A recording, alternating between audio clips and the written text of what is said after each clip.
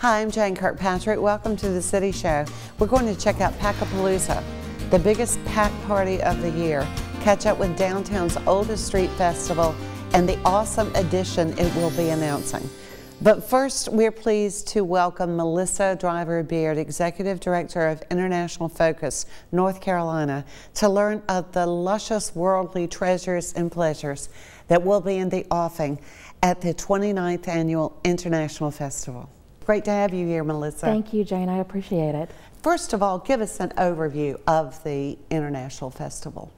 Well, the International Festival is the biggest and best multicultural festival in the Triangle region. We bring together 63 different ethnic groups every year for arts, dance, musicians, food, food, food, oh, yes. um, cultural education, and all sorts of wonderful children's activities.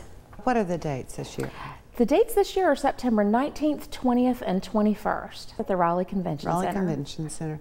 This is, as we said, the 29th yes. International Festival. Can you take us to uh, when it was launched and why it was launched? Well, it was launched really out of a partnership born through the City of Raleigh and the Sister Cities um, organization. Mm -hmm. And, you know, they ran it as volunteers for a number of years and saw that it was growing and taking on a life of its own. And eventually, International Focus was formed as the nonprofit to manage that, which we've been doing ever since. Um, we've always held the event in Raleigh, um, either at the Old Civic Center or at the fairgrounds, and now at the Raleigh Convention Center. And um, we've always really worked to involve a wide diversity of ethnic groups in the area and give them a platform for expression and for cultural education. We really do have a diverse population now, do we not, Melissa? It's been amazing. Um, one of the first things that I did when I took this position was to meet with the folks at the Census Bureau and was really fairly surprised to learn that we're the 15th most diverse state in the nation. And I can remember as a girl that that certainly wasn't the case. No, it wasn't. And over 50% of Wake County's foreign born citizens have moved here just since 2000. So we've really seen the diversity in our population grow and grow. September 19th, 20th, 21st. What sort of fun uh, and educational activities and shopping do you have uh, lined up for us? Well, there's always the shopping, which I think you and I both enjoy. Oh, um, yes. We have international groups that set up our bazaars in sort of an old world market feel. But we have some really special highlights this year that I'm particularly pleased about. We'll be bringing in a band um, out of DC, but they're all from Togo, Africa. They're called Elikeh, and they'll be performing on our main stage on Friday night. We're working in collaboration with uh, El Pueblo to bring in La Sonora Dinamita on Saturday night.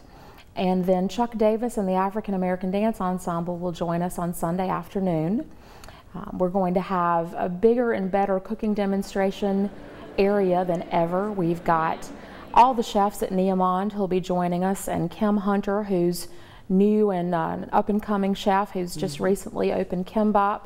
So we're very excited about that. But uh, we'll also have, in addition to the cooking demo, about 25 different sidewalk cafes so that you can try French crepes, African, African samosas, um, Asian dumplings, uh, one of my favorites, the Brazilian cheese bread, oh. and all sorts of uh, fattening and, and wonderful. And fabulous, of course. yes. Yeah. And I always love to see the reaction of the children uh, at the festival, and y'all always have wonderful activities for yes. the children. And we're really upping the ante on that this year. We've moved the Children's Corner, which has historically been called Sophia's Corner. We're moving it to the center of the convention floor and calling it Sophia's Courtyard. We're building it a, court, a courtyard around it. Um, got a wonderful sponsor through Erie Insurance that's helping us do a passport scavenger hunt with the kids. so that they can learn a little bit from each of the different cultural exhibits and become a citizen of the world if they complete the, the passport scavenger hunt. Um, we're going to have face painting and balloon making and storytelling and singing and drum circles. And uh, we'll have international books available for kids to read. So lots of different activities for them.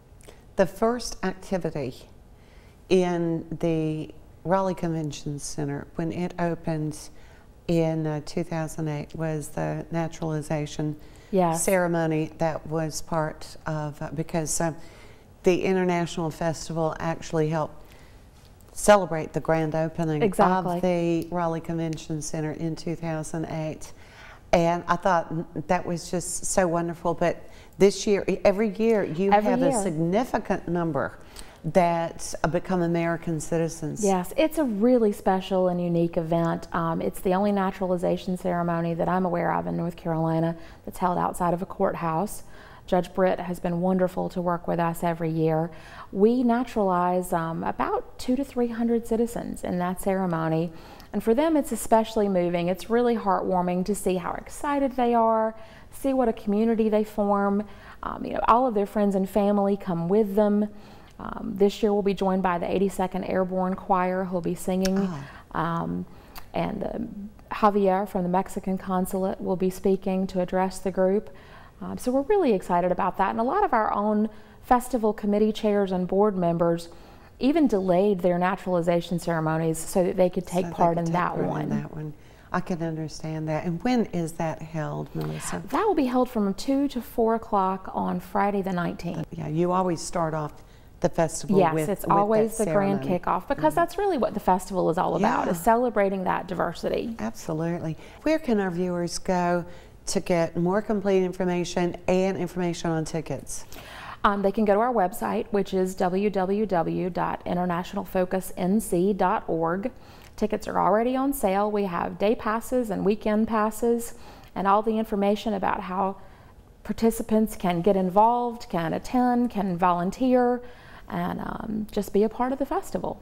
Melissa Driver Beard, thank you. Thank you. For uh, telling us all about it and for helping bring this to us every year. It's one of the things that, that makes Raleigh really special. Well, I'm really delighted to be a part of it and we look forward to seeing you there. Up next, we learn all about Packapalooza, the PAC's biggest party of the year.